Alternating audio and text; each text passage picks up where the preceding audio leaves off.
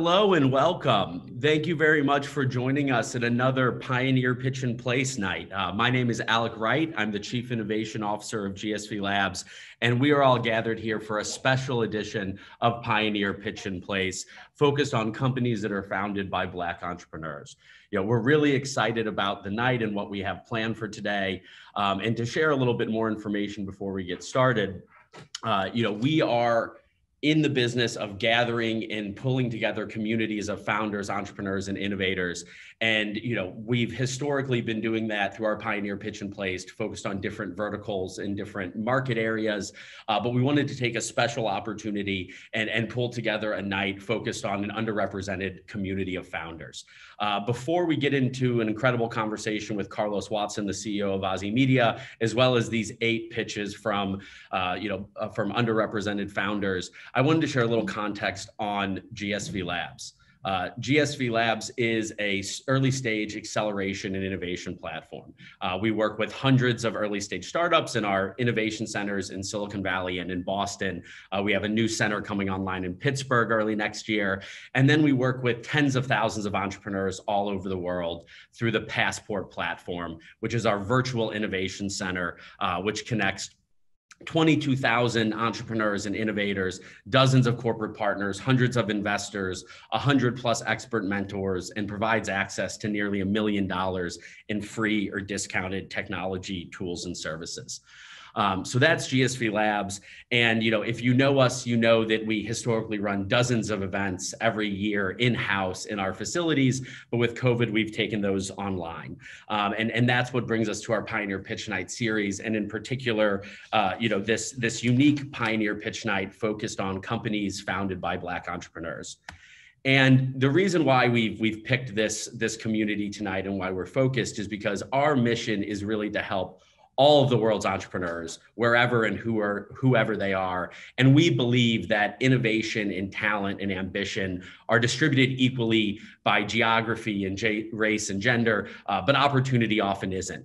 And in light of the incredible structural and systematic inequality that we see, we want to play our role in trying to increase awareness and access for underrepresented founders. It's absolutely amazing to think that Black founders only receive 1% of venture capital. And, you know, we think that it's everybody's responsibility to play a role in ensuring that the technology and venture community are representative of you know our, our broader society and country and so we're really excited to use our pioneer pitch and place night to both have deep explorations of market verticals in different industries but also over the coming months highlight different groups of underrepresented founders so, what is everyone competing for? Uh, a grand prize of $2,000 and two free memberships to Passport for one year, as well as a bunch of really unique benefits, uh, like a one on one mentoring session with Reid Christian, one of our judges who's a partner at CRV, as well as an hour of free consulting from one of our, our partners, Cooley, one of the top startup law firms in the world. Uh, and of course, the People's Choice Award. Um, every single one of you in the audience have the ability to vote, rate, comment, use the chat. But as you score these companies as they pitch, we will tally those scores and award a $500 People's Choice Award uh, to the most popular audience vote. Um, and none of this would be possible without our incredible community of partners and sponsors. Um, you know, a great group of both technology and professional service vendors that are focused on the startup community as a whole, but incredibly focused on supporting underrepresented founders and their mission to build big businesses. Um, you know, first, we really want to thank Cooley, who's a leading technology law firm that's always committed to the success of minority founded businesses. Cooley's lawyers work with companies of all stages and sizes, from first time founders all the way way to the most recognizable unicorns in the market. And the Cooley team is partnering with GSV Labs Black founders on company setup, patent strategy, fundraising, and any type of, of legal work. Uh, GSV Labs is a Cooley client, and you know we trust Cooley with our work, and we're you know we think the startup community should as well. Uh, we also have First Republic as an incredible partner here. Um, they are enabling kind of the type of banking that you would expect, uh, you know, how you run your own business First Republic provides comprehensive banking services and support for the growth of every business at every stage, um, all delivered through a dedicated team. And their team members, Kyle Gross and Rob Hughes, are, are available to chat with any entrepreneurs that are interested in partnering with First Republic Bank. And, and we certainly couldn't be talking about technology partners without mentioning Salesforce Essentials, which is the world's number one CRM uh, imagined for small businesses, helping you organize your customer data, sell faster, and deliver better customer support um, all in one application. Uh, we're also working with Withum, who is providing an incredible suite of advisory, tax, and audit services uh, to emerging growth companies. Uh, and they're really focused on kind of thriving, long lasting partnerships with the startup community. So, whether this is your first company or your 50th, uh, the Withum team can add a lot of experience in the advisory, audit, and tax space, uh, tailored for every unique company. Uh, and on the technology side, we have DigitalOcean, uh, one of the you know fastest growing and most recognized providers of startup cloud infrastructure. Um, they're an incredibly powerful partner to the developer community. That allows startups to quickly find answers, uh, you know, build platforms, and use their startup program Hatch um, to off to provide services that offset early cloud investments that startups are making. And once you have your platform up and live, uh, Freshworks for Startups uh, is an incredibly powerful tool launched by Freshworks uh, to help do cloud-based customer and employee engagement, um, you know, across your entire organization. And and the the this initiative currently provides startup access and credits um, across a variety of different accelerators and programs from Y Combinator, 500 Startups, TechStars, Accel, Sequoia, and of course GSV Labs. Um, and we were able to pull tonight's Pioneer Pitch and place together as a result of just this, you know, ongoing consistent support from this group of sponsors, as well as some of our other activities like our scholarship program for Black entrepreneurs. Um, if you're interested as a in partnering with us and helping support this community, um, or if you're a you know Black founder looking to take advantage of our resources and, and join the program, we'd love you to reach out uh, to the GSV Labs team. So, with that, we're going to start the conversation uh, with a quick chat with Carlos Watson, CEO and co founder of Ozy Media. Uh, Carlos is an Emmy winning journalist uh, where he's interviewed everything from presidents like Barack Obama and presidential hopefuls like Andrew Yang to Jameela Jamil Bill Gates, Mark Cuban, uh, all the different luminaries and thought leaders across industry and society. And Carlos founded Ozy Media in 2013 with the goal of uncovering the big news and trends today that are going to be defining uh, the world tomorrow. Uh, so, to get this conversation started, it's my pleasure to introduce Nikhil Sinha, CEO of GSV Labs. Thank you, Alec, and welcome, Carlos, to Pioneer Pitch Night. Uh, it's a real pleasure to have you join us for this important event, particularly tonight when we'll get to know and recognize some of the most promising startups in the country founded by Black entrepreneurs. As I was thinking about this fireside chat, I realized that I've seen you in these kinds of situations about a dozen times already. And in every one of those opportunities, you're the one who's been asking questions. Um, so I'm really delighted with the opportunity to put you on the hot seat, so to say, uh, today, and um, get the opportunity to hear your ideas, your wisdom, and your story. Um, I'm going to get us started with a few questions, and then we'll open it up to the audience.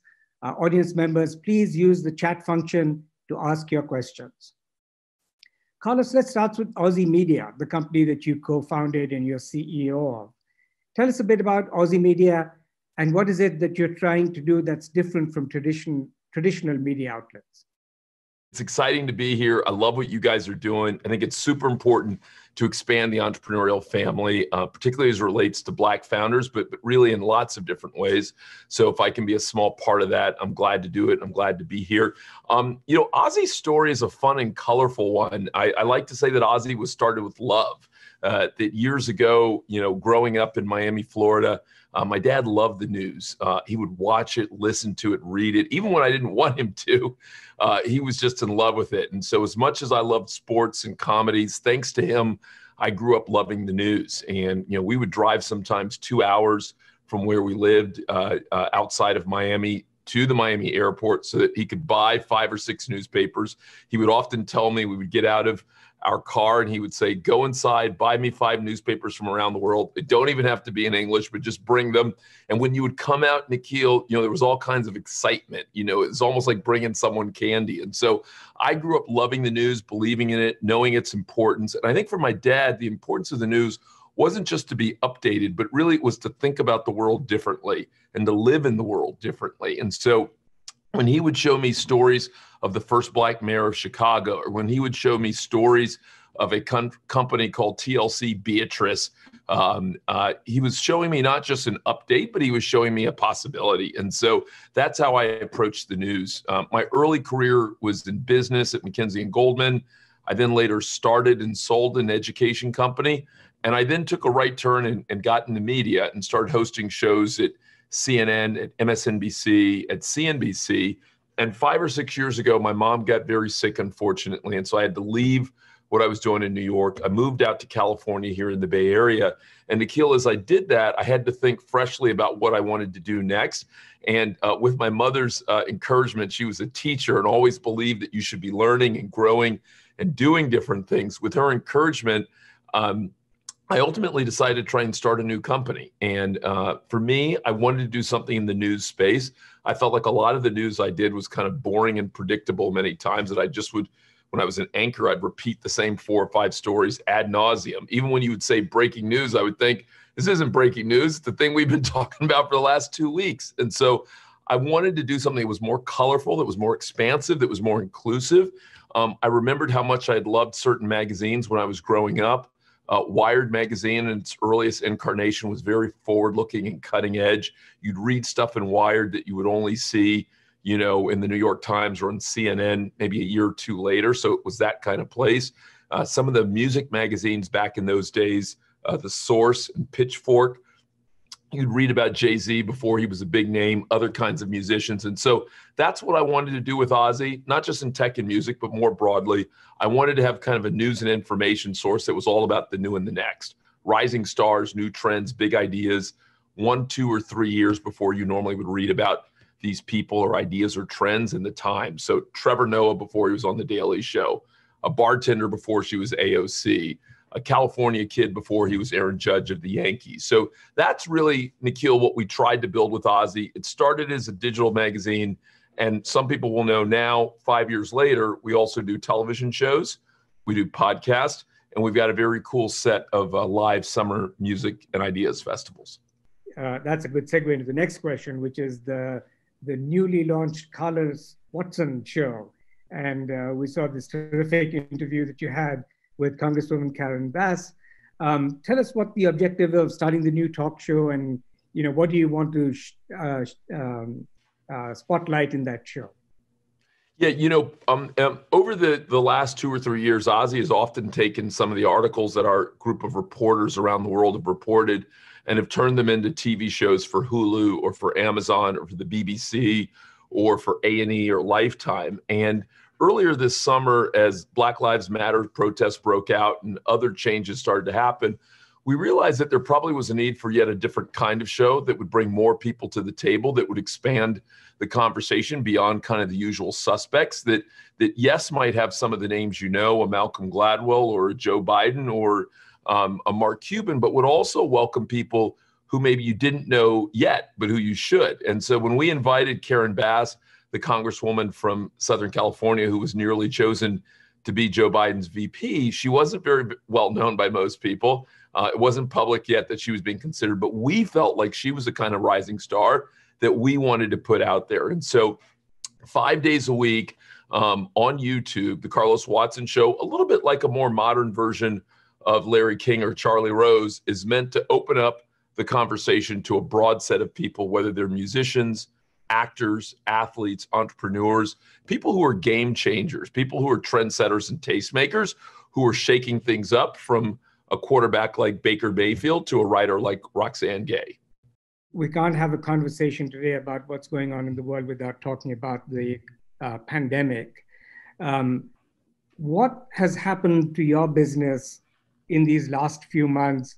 And what are you hearing from your readers and your listeners and viewers about sort of the ways that they're trying to deal with the current situation? You know, Nikhil, one of the things I would say, and maybe you feel the same way, the last six months have almost been three or four periods. It hasn't just been the last six months. I think we all went into this with a little bit of uh, uh, surprise, bewilder- bewilderment, maybe a little bit of fear in March. I think in the back of our minds, we all hoped that by summer, maybe things would be in a different place. Mm-hmm. Obviously, that didn't happen. You know, as things continue to transpire, and we heard about Ahmaud Arbery and Breonna Taylor and George Floyd and others that also changed the conversation as well. So it has been, um, even though it's been six months, it feels a lot longer, at least to me, maybe to you. In in an in, in a maybe a, a way that makes sense, I think our business has become more necessary. I think more people have been at home, more people have not wanted to just focus on the usual suspects, but turn to different kinds of media. And so we've seen a doubling and a tripling of our audience. More people are reading our newsletters every day or following us on social two to three times more. Um, we've quadrupled the number of TV shows that we either are producing or on the air. We've doubled the number of podcasts. And so while it's unequivocally been a scary time in many ways, and and and and a mixed time. There's there's certainly you can't watch those eight minutes and 46 seconds, and um, at least I don't think you can, and not be heartbroken. I think I've also been excited to see people in the streets and hear people say that it's not okay and that we're going to look and press for different. And so all of that's been exciting to be a part of. And, and Nikhil, in, in unusual and unexpected ways, our business has actually gotten stronger. We'll we'll grow this year in revenue. I think we'll be profitable for the first time, and it feels like there are a number of fresh opportunities for us to to expand our audience and do interesting things for our partners. Thanks, Carlos. I want to spend uh, some time uh, talking about the George Floyd killing and the sort of widespread protests that it sparked, but definitely reflective of the broader set of concerns people have about the way that uh, Black African American people in this country are treated. Um, you know, coming from a media perspective, but also as someone who is part of the community, what's your sense of um, how can we use this moment to create lasting change? And what can organizations like GSV Labs, Ozy Media, and other companies in the Valley um, do to utilize this moment uh, to bring about change in the way that we both incorporate and treat underrepresented minorities in this country? Yeah, uh, Nikhil, I, I, love that question, and and I, am hopeful. I'm an optimist. Uh, Dr. King used to love to quote one of the German philosophers who used to say, uh, "The moral arc of the universe is long, but it bends towards justice." And and I hope that's true. Uh, I don't assume that happens easily. I don't assume that happens without a fight. I don't assume it happens linearly, but but I do assume that it can happen and that it's worth trying.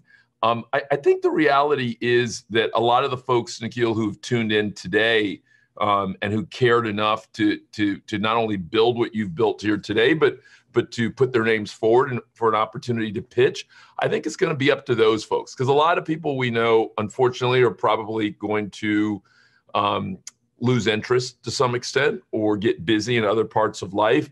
And so I wish I could say that it will remain front and center, but I don't know that it will consistently do that. But a few good people can make a huge difference. Um, uh, and so I think three or four things probably matter. Um, one is, I think, and it's hard to say this for a lot of black and brown people who already feel like they've had to be already, but I think we're going to have to be even bolder and uh, more creative. And and bold doesn't necessarily always mean loud. It doesn't necessarily mean confrontational but we're unequivocally going to have to be bolder in what we pitch, uh, who we consider working with, uh, what we go for, when we decide to believe in ourselves, what we ask for. And I think that's important.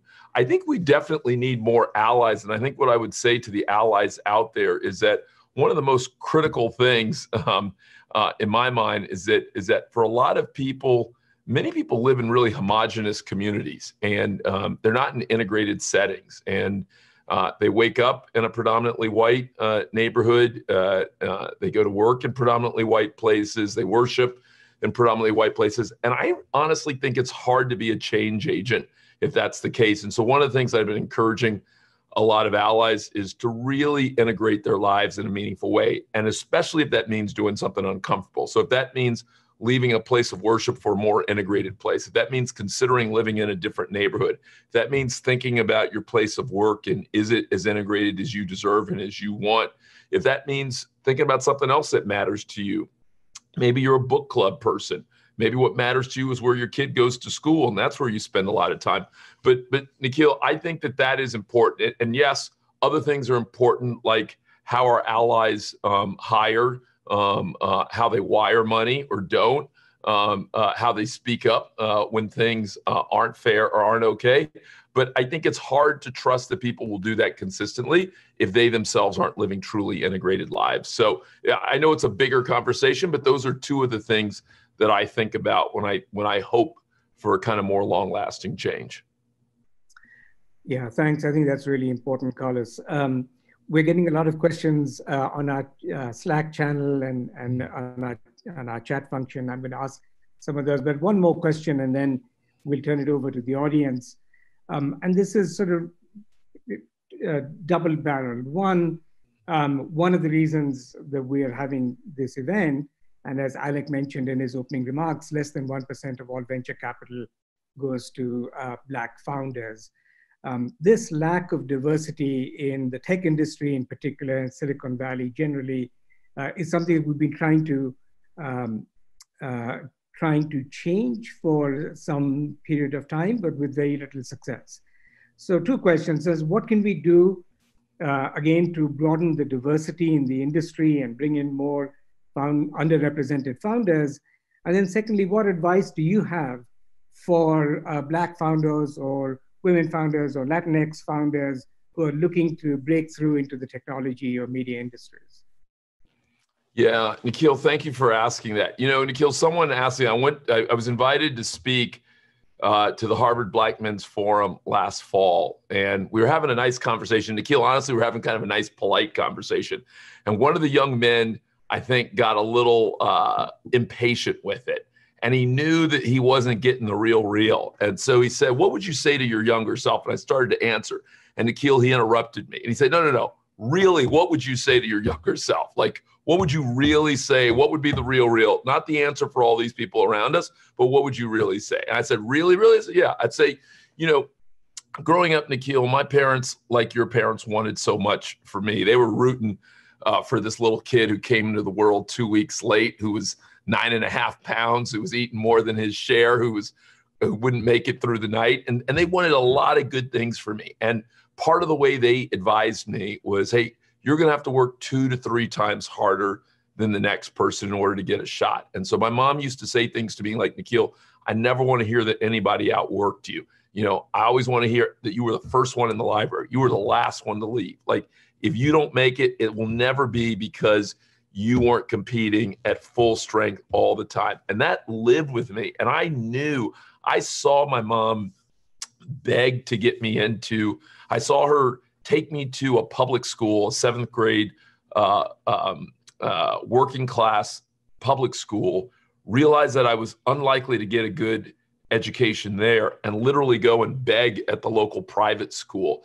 Um, um, and and ultimately through a bunch of of of, uh, of, of, of, blessings ultimately got me in there. So I knew how much she wanted this to work, and and so her advice to me was two to three times harder. And Nikhil, I took it to heart. And it's funny, Nikhil, when I would talk to friends who weren't black, you know, in their mind, they would say, you know, I know you have to work harder, but maybe it's 10% or 20%. And what I said to the young man at Harvard, and what I would say to everyone on here is as much as my mom loved me, as much as my dad loved me, as much as my favorite professor, uh, uh, Martin Kilson and Jeff Timmons, and all those favorite professors loved me and tried to give me as much advice. George Crawford, uh, if you're out there, as much as they loved me and tried to give me that advice, they got it totally wrong. If you want to be an entrepreneur and you're black, it's not two times harder. It's not three. It's literally a hundred times harder.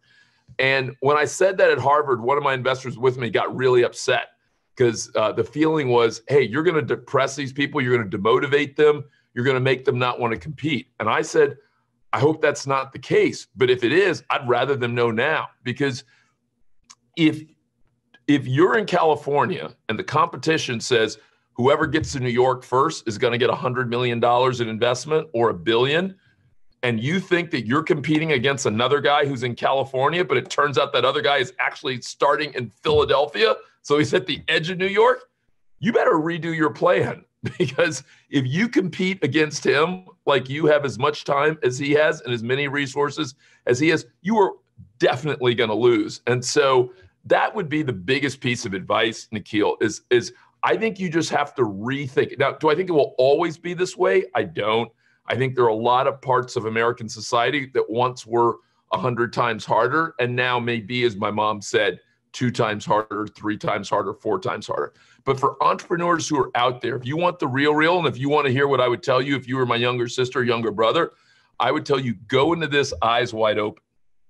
It's going to be a hundred times hard, and it's not just because people are bad people. That's not it.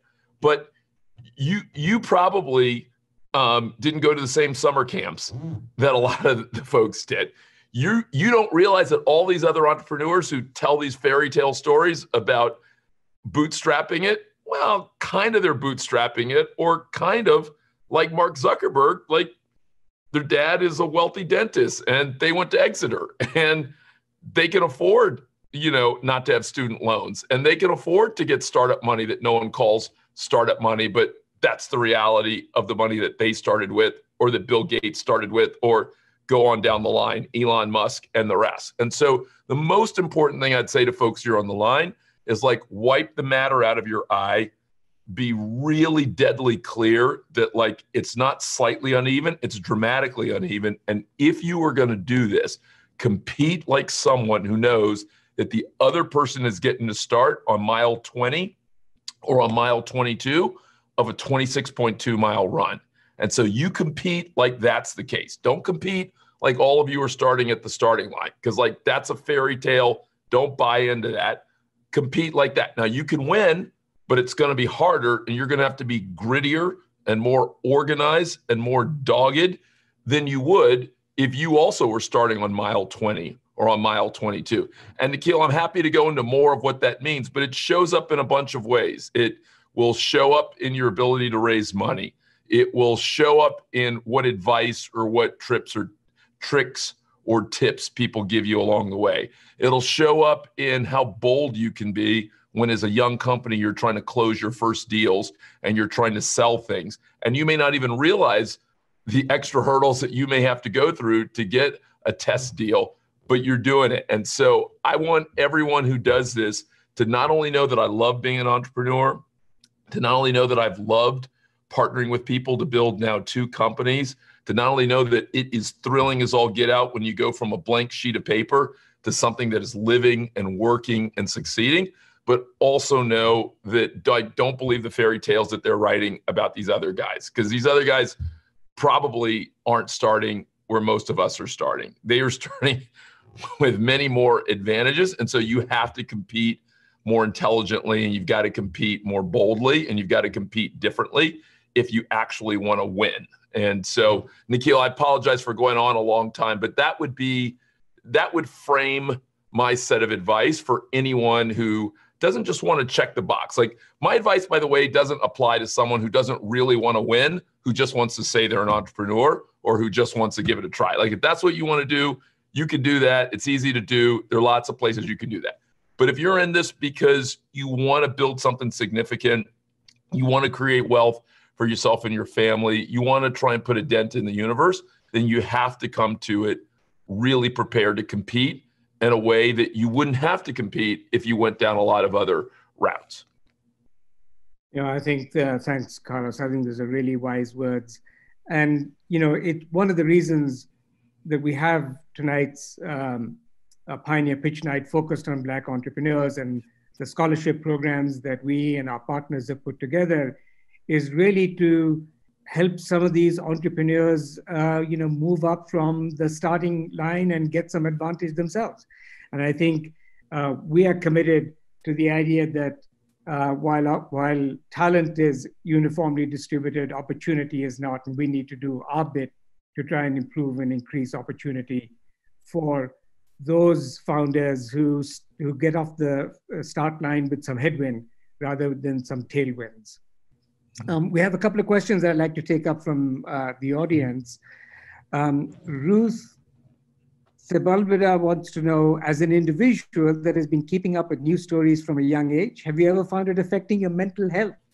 Uh, has it ever affected your career journey negatively? Um, I, I, think there's no doubt that um, you know James Baldwin, uh, Nikhil, the uh, the wonderful author who uh, uh who wrote such great pieces over the years, and I think passed away in the early 80s, but was a bright light in the 40s, 50s, and 60s, especially. Uh, he said um, I, he said something to the effect that I may not get the quote exactly right. He said, "To be black and even somewhat conscious in America is to be in in a, in a rage almost all the time." And so, yes, there's no doubt that not even just for those who are black, but for others following the news, particularly over the last couple of years, um, uh, can be uh, disheartening. Um, but but I guess I would tell you, Ruth, if I'm honest, it's never stopped me from saying we've got to go forward. I grew up with a grandmother, um, Jeanette Thomas, who was born in 1902, and she was the granddaughter of slaves. She was born in Jackson, Mississippi, and I remember as a kid, I'd get upset about things, and my grandma used to tell me uh, the stories she would hear uh, from uh, her grandparents and others. And she would remind me that even though things weren't exactly the way I wanted, that they were way better than what she experienced and what those before her. And her phrase to me, Ruth, was always "keep on keeping on." And so, um, Ruth, I guess I'm I'm I'm ultimately hopeful that that you know, as people used to say, we'll turn trash into energy. And I know a lot of the news the last couple of years have felt a little bit like trash. Um, um, but but I hope I hope we're that creative. I hope we're that strong. I hope uh, uh, I hope this will be. I, I, genuinely hope, and I don't mean this in a BS way. I, I hope that many of us will uh, take the last couple of years as a reminder to never take things for granted. Um, don't take freedom of press for granted. Don't take safe voting uh, and elections uh, for granted. Don't take uh, people treating each other with respect and, and courtesy in public life uh, for granted. Like, d- don't take any of that for granted. And I hope that we'll, you know, we will love our democracy uh, even more. Um, uh, and we'll do more to make sure that it's it's healthy and it's vibrant and that it works well. Thank you, Carlos. I think that's a great note uh, for us to end this conversation. Thanks again for joining us um, and for supporting uh, Pioneer Pitch Night. And now, Alec, it's over to you. Thank you so much, Nikhil. And, and you know, Carlos cannot uh, thank you enough for sharing the time and and perspective on you know these topics ranging from the emerging media landscape to entrepreneurship and where we as a country you know go from here in this kind of incredibly difficult time. So th- thank you again, Carlos, for joining us tonight, and I'm sure the entire audience really appreciated uh, the, the perspective. Um, My pleasure.